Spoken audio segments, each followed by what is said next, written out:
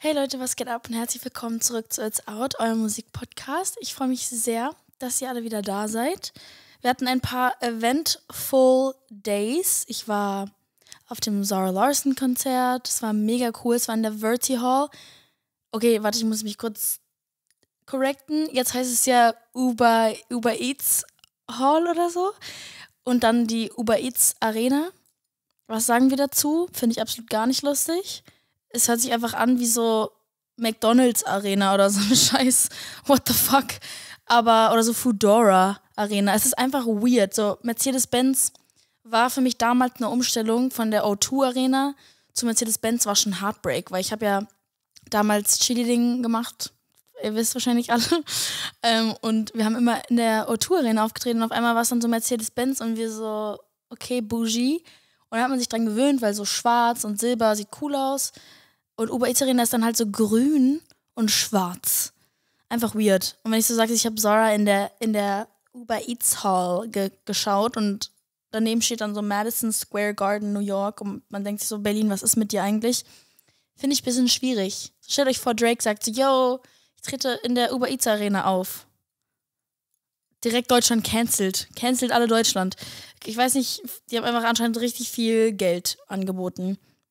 Apropos Geld, ich bin ein bisschen Rihanna, weil sie ihr erstes Konzert seit so Jahren, seit acht Jahren, acht Jahren ihr erstes Konzert wieder hatte. Raten Sie, wo es war. Es war nicht für die Fans, es war nicht für ihre Familie, es war keine Release-Party, es war kein Fenty Beauty, es war keine Fashion Week, irgendwas, wo man es noch verstehen würde. So als ersten Auftritt, so mäßig dieses Coming Out of Her kleine Höhle, die, sich, die sie sich da acht Jahre gebaut hat, hat, die ich ihr gönne, by the way, weil sie Kinder bekommen hat und sich das leisten kann, einfach auch mal keine Musik rauszubringen. I mean, it's Rihanna. Ratet, wo sie aufgetreten ist. Auf einer indischen Hochzeit von einem indischen Milliardär. It's giving Beyoncé, als sie sich dazu entschieden hat, in Dubai zu performen, ähm, wo die LGBTQ-Rates absolut nicht standhaft sind und sie auch Millionen von was auch immer bekommen hat, US-Dollar. Und das Ding ist, es halt so, es ist so durchschaubar, weil Rihanna, ganz ehrlich, ich finde es einfach, bin ein bisschen enttäuscht von ihr, weil ich habe, ich schaue sehr zu ihr auf, ich bin, ich bin mit ihrer Musik aufgewachsen und dann so nach acht Jahren dein erstes Konzert so auf Low-Key versuchen zu machen, auf einer indischen Hochzeit von einem Milliardären, wo wir alle wissen, okay, ihr wurde safe eine Mille mindestens dafür angeboten, die aus ihrem Loch rauszukratzen, zu locken. Da muss so viel Geld am Spiel sein. Und ich frage mich so, erstens, braucht sie das? Und zweitens müssen ihre Hard Hardcore-Fans wahrscheinlich sehr enttäuscht sein. Und ich bin honestly auch enttäuscht. So, wenn erstes Konzert erstes Coming Out, dann finde ich, sollte man das an einem Festival machen. So Headliner oder sie announced ihre eigene Tour oder sie macht ein Riesenkonzert in New York oder Barbados oder so, von wo sie herkommt. I don't know. Also es ist einfach total unpersönlich und geldsüchtiger Vibe. Hm, weiß nicht, was ich dazu sagen soll. Aber egal.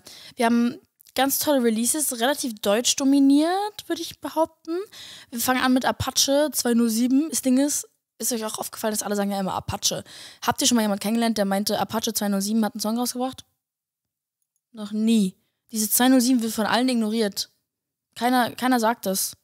Es ist so, als würden einfach alle zu mir Faye sagen und keiner sagt danach Montana. Ist einfach weird ich weiß nicht, ob das nur ich bin, weil ich kein Apache höre und kein Apache-Fan bin, oder ob so die, seine Fans beim Konzert sagen so 207.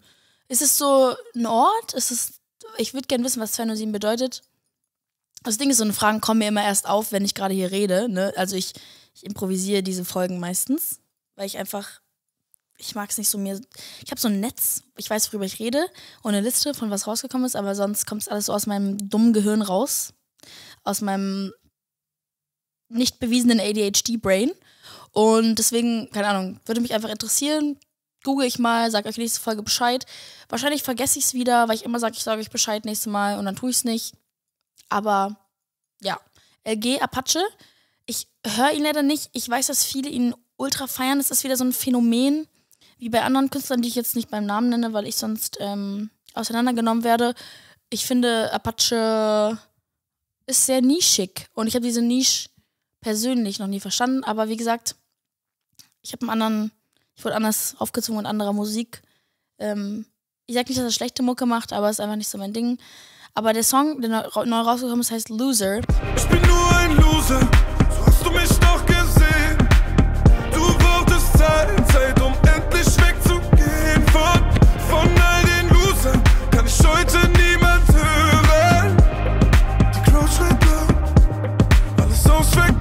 muss sagen, es gibt mir so ein bisschen Victim-Komplex-Vibes. es ist so, warum sind äh, Deutschrapper immer so dramatisch? Warum seid ihr so dramatisch? Deutschrapper haben immer so dieses, ich bin aufgewachsen in diesem Kaff und meine Mutter hat einmal am Tag gekocht. Und I respect your past und es ist voll cool, dass du darüber schreibst. Aber daher, dass es meine Muttersprache ist, ist Deutsch für mich schon so cringe und dann sagst du so, du benutzt keine Metaphern, du machst so literally what happened und es ist immer so, okay, so was, ich weiß nicht ich, ich bin da immer so ein bisschen skeptisch. Ich weiß nicht, ich finde einfach Deutschrapper sind dramatisch.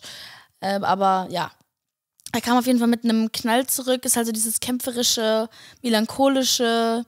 Und der Text rechnet mit den Stimmen ab, die Apache früher als Versager abgestempelt haben. Und jetzt setzt er seinen beispiellosen Erfolgsweg diesen Stimmen entgegen. Und Jumper hat es produziert. Guter Produzent. Und eigentlich voll ihr müsst euch vorstellen, wenn ihr gerne Musik mögt, aber ihr wollt nicht so im Vordergrund sein, so Künstler sein, ist, damit kommt viel dazu, ne? Das ist alles im, im Fünffachpack. Aber so, wenn man einfach behind the scenes sein will, die Künstler kennenlernen kann, irgendwo auch einen Bekanntheitsgrad hat, aber immer so ein bisschen einfach seine, seine Eier schaukeln kann, kann man eigentlich Produzent oder Songwriter werden. Weil viele Songwriter, die ich kennengelernt habe, mit denen ich auch schreibe, sind manchmal auch selber Künstler, aber genießen das so ein bisschen nicht bekannt zu sein, also nicht dieses Taylor Swift-Künstlermäßige zu sein. Ähm, Finde ich ganz interessant. Also viele denken ja immer, wenn man Musik macht, muss man unbedingt Künstler sein, aber es gibt ja auch Master-Engineere, es gibt Mixer, was auch meistens die Produzenten sind. Du kannst Vocalist sein dann nehmen die meistens Demos auf und schicken die dann Künstlern und das ist dann aber nicht eine Stimme, die drauf ist. Also wenn man einfach so keinen Bock auf diese Attention hat und Klatsch und Tratsch, Promi-Flash, Fame und 114 schwanger, wenn ihr keinen Bock darauf habt, dann werdet Produzent. Aber zum Beispiel so einen Jumper kennt man. Das finde ich ganz cool. Und ja, I don't know. Ich finde einfach trotzdem den, den Song ultra dramatisch. Einfach so die Soundeffekte und it's just too deep for me und zu wenig Metaphern, so ein bisschen in your face. Und apropos dramatische Rapper, Luciano, mein Bre. Ich habe eine Frage an dich. Warum kann es sein, dass männliche, Emphasis on männliche Deutschrapper das Gefühl haben, sich als Feminist darstellen zu müssen? Meine Mutter hat mir das geschickt und wenn meine Mutter mir was schickt, dann ist das, die Frau ist schlau, okay? Da ist was dahinter, die ist super schlau. Ich kenne niemand, der schlauer ist als sie. Nicht nur, weil sie meine Mutter ist, fragt in Berlin einmal rum und dann wisst ihr Bescheid. Jedenfalls schickt sie mir das und ich so, das kann nicht dein Ernst sein. Der Typ singt, komm on, komm on, shake your bamba, weißt du? Frau, shake deinen Arsch, okay? Und tausend andere Lines, die ich jetzt nicht nennen muss. Wir kennen alle Luciano-Songs. Ich pack das Wodka in ihr Maul und so, ne? Sowas ähnliches einfach. Und zehn Minuten später auf seinem Set in seiner Tour, das war jetzt Berlin, habe ich dieses Video gesehen, kommt so ein Text von einer Frau, die das vorlässt und er stellt sich da so dramatisch hin und schaut diesen Text an. Eine Frau zu sein heißt, und dann so der Feminismus, wir müssen die Frauen beschützen, da, da, da, da. So ein Text des Todes als Intro zu einem nächsten seiner Songs. Ich war kurz sprachlos. Weil jeder, der in der Branche ist, weiß, dass es eine absolute Doppelmoral ist. Doppelmoral-Moment. Wenn Shirin David es macht, okay. Okay.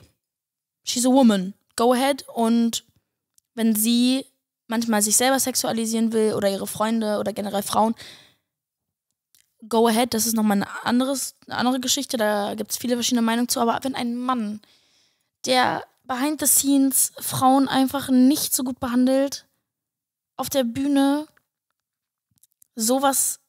Oh, das war so cringe. Guckt euch das bitte einfach an. Auf TikTok ist das. Oh, ich kann es nicht, wenn Männer so sind, so, ich bin Feminist. Ich bin so, du weißt, glaube ich, nicht, was es bedeutet, Feminist zu sein, Bruder. Nur weil du Frauen gerne bummst, heißt nicht, dass du Feminist bist. Komm on, shake your bamba. Das ist nicht feministisch, Schatz. Das kannst du auch nicht zurücknehmen. Der Song ist online. Ich weiß nicht, was ich dazu sagen soll. Naja, egal, wir vergessen es. Nächstes Thema ist Luna. Und honestly, wir haben zu lange nicht über Luna geredet. Ich bin total in awe of her. Ich weiß nicht, wie man das sagt. Ich bin, ich bin fasziniert von ihr. Sie hat einen Song ausgemacht, der ist vergessen. Früher schon weg, hätte ich nur einmal gecheckt. Dich zum letzten Mal sehen, tut gar nicht so weh. Dazu nur noch eins, wenn nur das du weißt.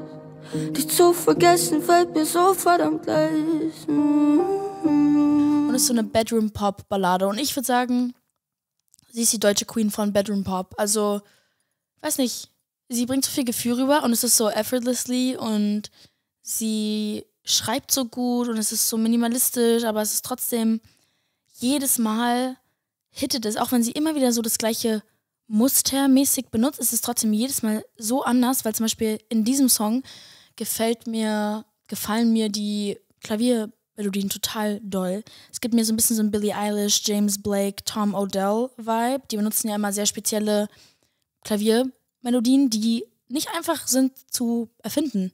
Weil im Endeffekt ist ja Musik erfunden. Das ist eigentlich voll krass. Künstler sind Erfinder. Leute, hört sich eigentlich voll cool an. Weil man ja eigentlich sich die Sachen einfach aus dem Hirn zieht. Also die gab es ja davor nicht. Und klar, man kann auch Samples benutzen, sich inspirieren lassen, unterbewusst die Musik, die du hörst, die Musik, über die du redest, die Musik, die du entdeckst, festigt sich ja unterbewusst in unseren Gehirnen. Gehirnen. Und wenn wir dann Musik machen, kommt das da wieder raus. So, wenn ich mich inspiriert fühle von Ethel Kane zum Beispiel, dann habe ich voll Bock, so einen C-Part wie sie zu machen, mache ihn aber so, wie ich ihn machen würde. Trotzdem erfindet man was, aber man ist natürlich inspiriert. Aber ich finde, dass sie sich immer wieder irgendwie neu erfindet. Und in dem Song ist Luna einfach ein sehr healthy Mensch. Es heißt, es ist ein Song, auf dem Luna in vollkommener Ruhe und Sanftheit final mit einer Beziehung abschließt. Sollten wir alle mal tun. Schreibt euch das auf. Kein Stress, kein On-Off, keine Wut mehr. Einfach der letzte Rückblick auf eine Beziehung. Luna beweist, dass Trennungssongs nicht immer nostalgisch sein müssen und fängt auf Vergessen, Gefühle, die viel zu selten thematisiert werden, eine Erleichterung und Befreiung. Schön. Mal eine mit Reflexion. Ich finde, es stimmt. Man schreibt oft so, ich höre immer nur so Breakup-Songs und, und die sind immer so dieses, ich will dich noch, um, I want you, do you want me too, I miss you, auch wenn du mich scheiße behandelt hast. Aber siehst so, vergessen fällt mir leicht. Meine Lieblingsline in dem Song ist, dich zu vergessen fällt mir so verdammt leicht. Oh, es ist so schön. Sorry an die Person, über die sie es geschrieben hat, weil wenn jemand mich leicht vergessen könnte, hast du ein Problem. Dann stehe ich vor deiner Tür und vor der deiner Mutter. Finde ich gar nicht lustig. Wenn man leicht zu vergessen ist, ist es so, hatte ich überhaupt einen Imprint auf dein Leben? Aber von ihrer Seite aus voll schön und healthy, voll erwachsen. Ähm, freut mich für sie, dass sie Leute einfach vergessen kann. Ich muss sagen, es gibt auch mein erster Freund super leicht da zu vergessen. Manchmal vergesse ich, dass diese Person existiert. Und das finde ich eigentlich voll schön, weil was soll man jetzt noch melancholisch, nostalgisch sich da rumwälzen, wenn man einfach Neuanfänge haben will und ein anderer Mensch jetzt auch ist. Ich meine, ich war auch jung, aber ich glaube, manchmal, es hört sich harsh an, aber zu vergessen, dass eine Person existiert, ist nicht schlimm. Ich muss aber sagen, Shoutout an meine Freunde, ihr erinnert mich immer wieder an die Person, weil die mir immer wieder Sachen schicken, weil die mich immer wieder darauf ansprechen, weil es einfach ein Phänomen ist. Ne? Aber so, ich vergesse es immer und dann ist es so, oh, da war ja was. Und ich würde nicht sagen, dass das toxisch ist. Ich glaube, das ist einfach so, next, thank you, next. Jetzt haben wir The Kid Leroy. Love him. Immer noch schippe ihn und Tate. Ich habe äh, ihn jetzt auch schon lange verfolgt. Ich finde ihn ganz toll. Der Song heißt Still Yours, in Klammern From the Dock. I'm still yours. Tell me where I go wrong? I'm writing this to let you know. I'll do anything but let you go. You're in control. The only way that I'm not strong. From the Documentary. Er hat jetzt eine auf Amazon eine Doku rausgebracht vor ein paar Tagen, die nennt sich Kids Are Growing Up, A Story About a Kid Named Leroy. Voll cool. Es geht einfach um sein Leben, um seine musikalischen Anfänge, wie er da hingekommen ist, wo er ist, was, was ihn inspiriert, wie er so ist, einfach. Und zu der Doku gibt es immer ein paar Songs, was mega smart ist, weil man das dann so connected mit Release und diese Songs gibt es dann in der Doku und die kommen dann erst wenn die Doku ist raus. Was ganz geil ist, weil dann mehr Leute diese Doku gucken aus einer Industry-Perspektive. Aber was, was, ich, äh, was mir aufgefallen ist an der Doku, was ich ganz interessant und lustig finde, ist, dass er jetzt nicht mehr mit Katharina Demme zusammen ist. Ähm, wunderschönes Mädchen. Und das Geile war, dass sie, ich habe so einen TikTok-Clip gesehen, ich will mir die Doku auch unbedingt noch angucken, weil ich liebe Künstlerdokus. Die geben mir immer viel mehr Insight in den Künstler. Keine Insight on me, meine Billie Eilish Obsession fang an, fing an, fing an. wow. Happy Monday. Fing an mit ihrer Doku. Ich habe davor so mitbekommen, wie sehr sie im Hype war, besonders in LA, mit so When We All Fall Asleep, Where Do We Go? Und dann kam die Doku raus und ich war so, I love this bitch. Und es war ihre, ihr Charakter, es war, wie sie ist, äh, ihr Attitude zu ihrer Musik. Und davor hätte ich sie niemals so doll gefühlt, wenn ich ihre Doku nicht gesehen habe. Und deswegen ist es eigentlich voll schön, dass Dokus Künstler die Möglichkeit geben, oder nee, Fans eigentlich die Möglichkeit geben, sie mehr kennenzulernen. Weil man eigentlich, man kriegt niemals so ein Insight in das Leben eines Künstlers oder die Erschaffung eines Künstlers ohne eine Doku. Es, es ist unmöglich. Du kannst so viele TikToks und Daily Vlogs machen als Künstler, wie du willst. Eine Doku geht so tief in, nach hinten. Ich schwöre es dir, ich kenne keinen Menschen, der nicht sagt, ich hätte mal gerne eine Doku über mein Leben.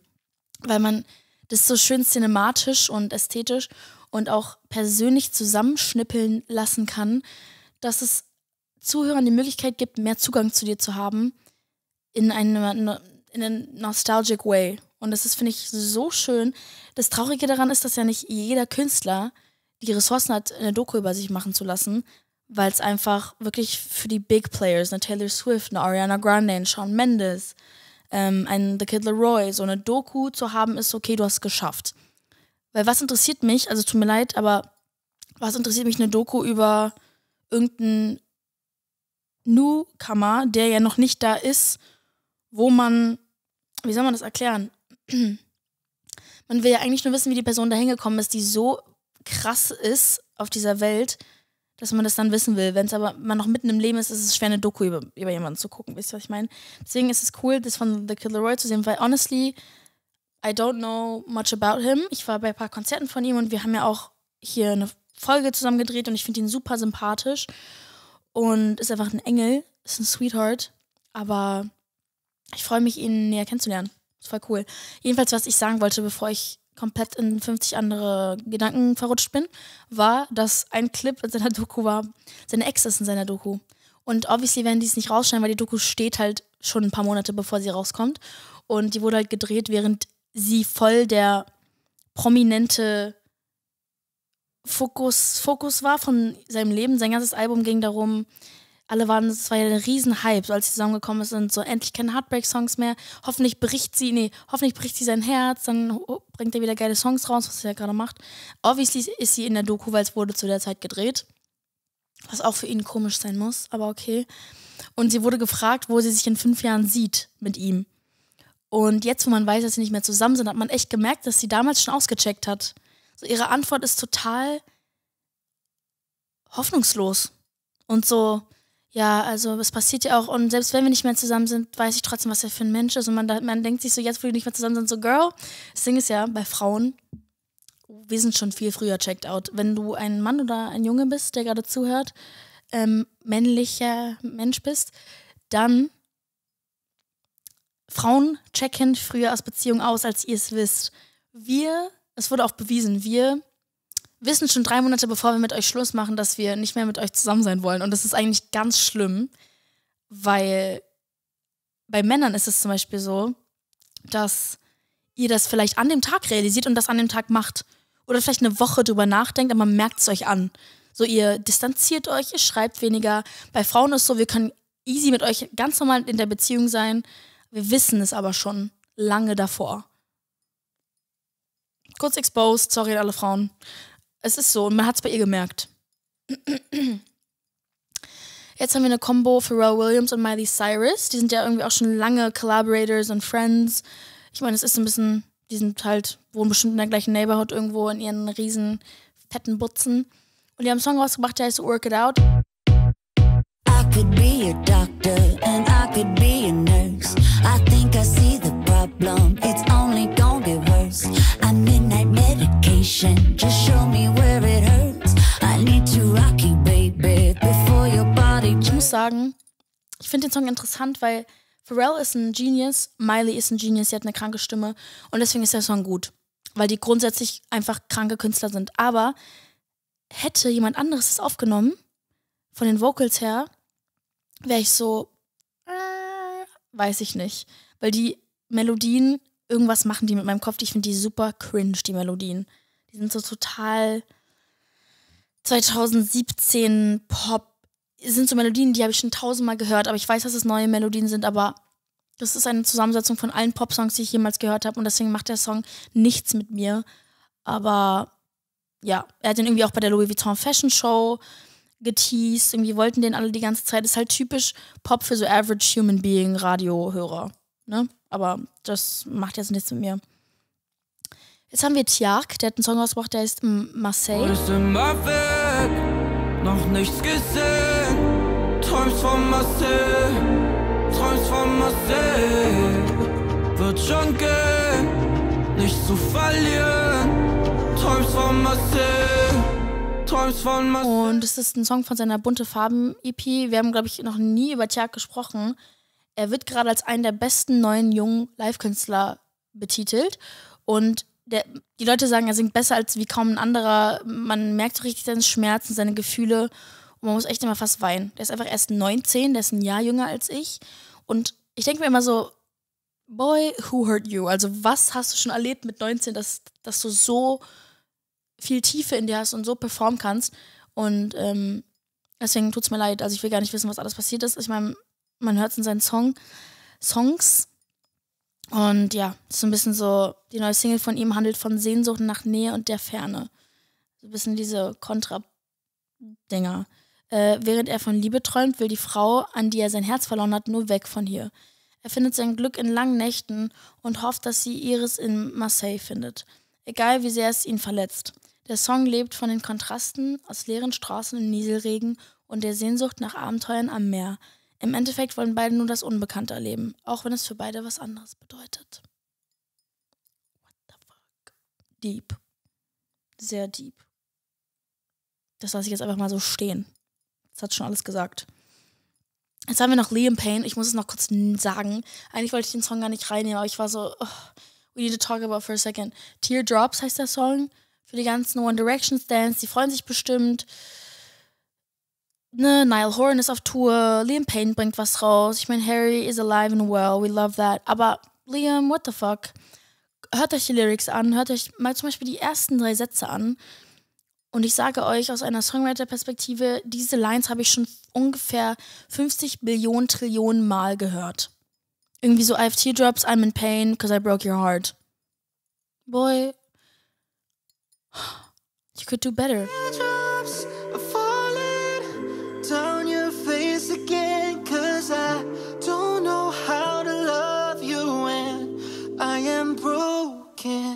Auf der anderen Seite denke ich immer, ist mein Standard zu hoch. Aber, weißt du, ich finde immer so, wenn er die. Wer hat das geschrieben? Ich bin mir sicher, er hat es nicht selber geschrieben, weil es ist sehr, it's giving, ein Songwriter, der immer Pop-Songs schreibt, war im Raum und war so, wir schreiben jetzt einen Banger. Weiß ich nicht so. By the way, am Wochenende waren die Brit Awards und es wurde ein neuer Rekord aufgestellt und zwar Ray. Ich finde, Ray ist so ein bisschen unsere Amy Winehouse unserer Generation. Ähm, sie hat zwar keine Drogenprobleme, von denen wir unbedingt wissen, aber so ihre Tiefe, wie sie performt, auch immer dieses ohne Schuhe und ihr Attitude und mit dem Akzent. Ich weiß nicht, sie gibt mir so, auch von ihrem Genre her, wie sie singt, ist sehr so Amy Winehouse. Und trotzdem sie, ne? Also es ist ähnlich, würde ich nur sagen. Und sie hat einen neuen Rekord aufgestellt, nämlich hat sie sechs Awards gewonnen. Bestes Album, bester Song, beste Künstlerin, beste Newcomerin und noch zwei andere. Rekordhalter waren bisher Adele und Harry Styles und Blur. die jeweils vier Stück gewonnen haben. Wow. Und ihr wisst, Adele, sorry, Harry Styles, sorry, krass. Deswegen freue ich mich voll für sie. Sie hat auch voll geweint. Ihr alter Tutor hat ihr diesen äh, ähm, Award für Best Album gegeben. Einfach voll die emotional Moments. Tate McRae ist auch aufgetreten, Baddie Alert. Aber ich habe eine Frage: Who's your stylist, Girlie? Weil nichts von dem, was sie anhat, hat jemals einen roten Faden. Und ich, oh, es macht mich so sauer, weil ich, ich sehe sie in so guten Outfits. Und manchmal hat sie echt gute an, aber es ist so null sie. Man merkt so, dass sie einfach einen Stylisten hat, der sie in so Sachen reinpackt. Wisst ihr, was ich meine? Es ist nicht so di- dieses Billie Eilish, du hast einen Signature-Style. Sie hat für mich keinen Signature-Style, außer diese ähm, Eishockey-Gloves. Aber die kann man ja auch nicht immer anziehen. Und mir fehlt so ein bisschen dieses Authentische. Und sie hat so ein komisches Korsett angehabt mit so einem goldenen Bra und einer blauen Hose. Es hat gar keinen Sinn gemacht. Oh, es tut mir so leid. Aber die Performance war geisteskrank. Die Leute haten wieder, weil sie anscheinend zu wenig singt und zu viel tanzt. She's a performer. So, Dua Lipa ist auch aufgetreten. Sie tanzt auch, macht Dance Breaks, gibt das Mikrofon ab und nimmt's wieder. Digga, Tate hat einen fucking Bogengang von der Bühne gemacht. In ihre Tänzer rein. Lasst die Frau atmen für eine Sekunde. So, könntet ihr das? Weiß ich nicht. Ich finde es wichtig, dass man ich spreche, by the way, nicht euch an, wenn ich so Fronts mache. Ne? Das sind immer so die, die Leute, die sich darüber beschweren. Aber, keine Ahnung, sie tut mir einfach leid, weil give the girl some credit. Also, es, sie performt unfassbar. So, und es waren auch ihre ersten Brits. Voll süß. Ja, also, das war's eigentlich mit allem. Ich bin überstimuliert, weil so viel passiert gerade. Aber ich freue mich auf jeden Fall auf nächste Woche. Und ja, mein Song kam by the way raus. I like missing you ist es sehr süß. Ich liebe eure Reaktionen darauf und wie emotional euch der Song macht. Ich hatte einen Freund hier, Jerome, und hat erstmal die Tequila-Flasche rausgeholt und mit der Tequila-Flasche einen Slowdance gemacht. Das ist ein Slowdance-Song. Wenn ihr so einen Crush habt, macht den Song an und macht Slowdance in the kitchen. It's beautiful. Ist auch ein bisschen traurig, der Song, aber I don't know, gönnt euch einfach. Macht damit, was ihr wollt.